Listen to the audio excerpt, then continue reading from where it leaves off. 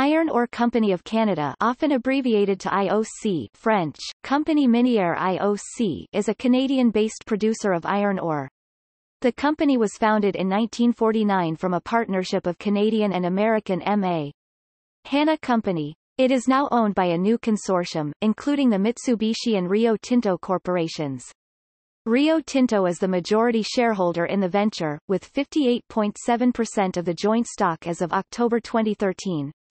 Mitsubishi controlled 26.2% of the investment as of March 2013. Based in Montreal, Quebec, IOC currently has mining and concentrator operations in Labrador City, and operates the Quebec North Shore and Labrador Railway to ship ore concentrate from the mines, such as Wabush, to the port of Sept Isles, Quebec.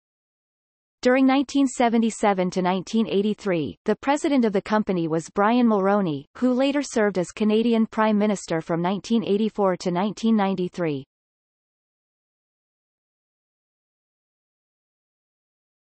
Topic. Notes and references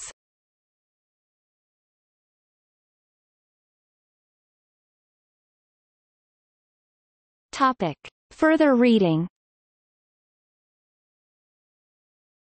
Guerin, Richard 1990. Kane's Legacy, The Building of Iron Ore Company of Canada. Sept Isles, Quebec, Iron Ore Company of Canada. WorldCat Link, 1. Topic. External links Official website